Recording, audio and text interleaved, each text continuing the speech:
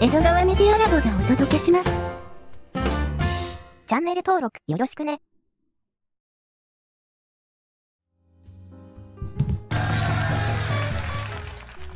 はいどうも、ご視聴ありがとうございます。えー今回はですね、結構の話題なんですけども、こちら。はい。えー米国の子供向け教育誌で警告が続々と表示され、えー韓国激おこという話。はい。じゃあちょっとね、詳しい内容を見ていきましょう。くーちゃんお願いします。米国の有名子供向け学習雑誌に清国の警告支配局などが反映され、間違いが深刻だという指摘が提起された。サイバー外交使節団ヴァンクは26日、米国の子供たちのための教育学習用シリーズ雑誌 Kids Discover、Kids Discover が歴史地図で朝鮮半島の一部を清国王朝の領土と表記するなど、歪曲した内容を含んでいると明らかにした。キッズディスカバーは1991年から20ページ余りの子供用ノンフィクション教育雑誌シリーズを200冊余り発行しており、最近アプリケーションとしても提供している。国内の有名オンラインカフェでも該当シリーズを購入することができる。バンクが古代 C 国、C 国の王朝、万里の長城、侍の4冊のシリーズ物を分析した結果、古代 C 国ではもともと6000キロだった万里の長城の長さを8800キロに歪曲した。C 国の王朝では、慶王朝の領土が慶半島まで伸びている地図を挿入した。元王朝と清王朝の領土地図には、朝鮮半島が元秦の地と同じ色で塗られている。明朝時代、万里の長城の長さは 8851km で、2012年に新しく測定した全長は 21195km に達するという叙述もある。新国政府は、もともと6000キロだった万里の頂上の長さを2000年代初めに2195キロまで伸ばした。万里の頂上を朝鮮半島の平壌まで描き、その中に含まれた高句麗と渤海の歴史を自国の歴史に歪曲するいわゆる東北皇帝事業を展開した。特に同時の教師指針書は、万里の頂上の長さが2920キロ以上だという真実または虚偽問題を出して真実が正解だとした。しかも、バンクが調査した4冊の雑誌に出た地図では、すべて東海を日本海と単独表記した。バンクは直。ちにキッズディスカバーの愛曲と関連した是正キャンペーンに着手した。まず、出版社側に抗議とともに雑誌に関する誤りの是正を求める書簡を発送した。さらに、該当シリーズの共同購入を行う国内有名オンラインカフェにもエラー事項を知らせ、子供たちが歪曲した内容を学ばないように措置してほしいと要請した。はい、ということでね、なんかね、怒ってますね。はい、じゃあですね、こちらに対して警告の反応いってみたいと思います。あ、ちょっと地図見てみましょうかね。えーと、こちら。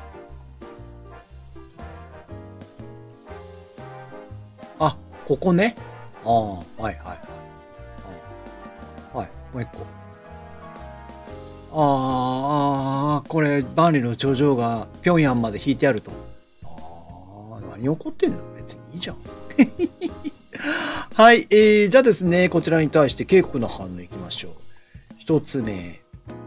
元清の西洋側の資料を見ると、当時の朝鮮島王朝を C 国王朝の属国扱いしていることが理解できる。西洋の歴史と東洋の外交関係はかなり異質的で理解が難しいので、それから理解させなければ指摘しても同じ。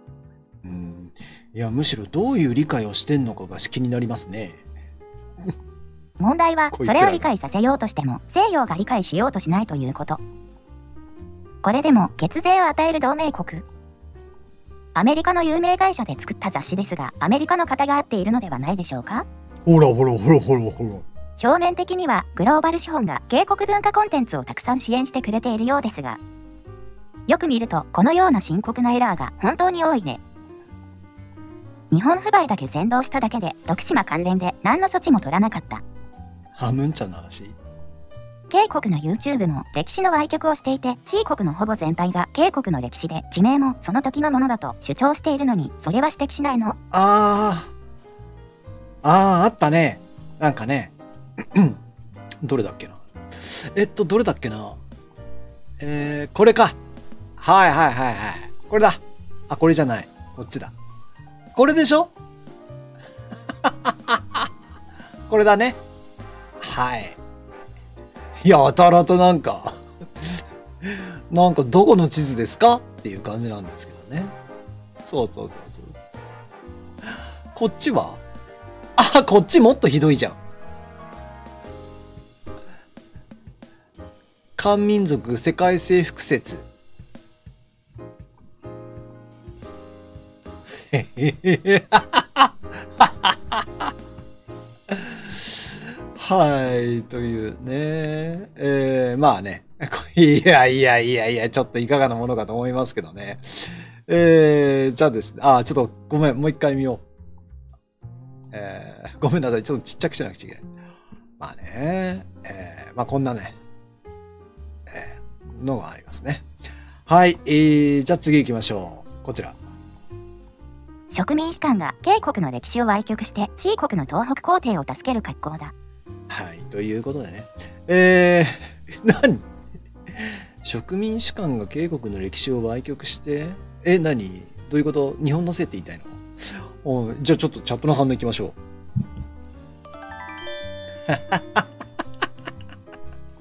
HOI かよ、わら。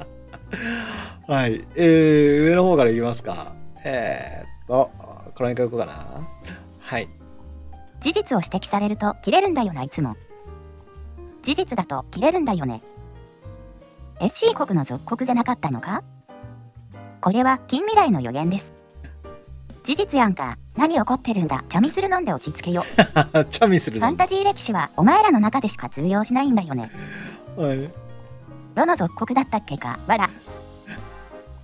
北とは双子で C の属国でロの子分なんですよ、わらわら。真実は隠せないんですよ、属国でしか生きられなかったでしょ。慶国さん、属国だった、植民地だったなどのことは正直に言った方がいいです。盲腸みたいな国が何抜かしてるんだ、やれやれ。間違ってないぞ、わら、白い服しか着られなかった理由がこれだ。なんでも、イチャモンつけないと生きていけないんだ。ほんとめんどくさい奴らだね。あー、めんどくさいね。バンクさん、ファビョルと見境ないんだね。誰か止めてやれよ。米国では半島は1895年まで中華の一部として日本が独立させてやったと教えている。独立門はどこから独立したの？C 国だね。これを日本にすり替えてんでしょ？そんで、この前で、このあれだよね、この前、この門の前で、あれだよね、大統領が演説したりするんだもんね。日本の属国時代の皇帝不義も出てたね。わらわら。はい。どうせもう時期滅亡するんだから何を言っても意味ないでしょ？ああ、その地図と違うから歪曲か相手されんの？実際、作風制度があったので、朝貢関係は属国とみなされる。越南、琉球、タイも朝貢していたが、一部ではないとされた。これを中華は覚えていて、琉球やベトナムを再び属国化させようと企んでいる。はい、ということでね、えーそれではですね、これで終わりにしたいと思います。えーご視聴ありがとうございました。チャンネル登録、評価、ぜひぜひよろしくお願いいたします。ではまた。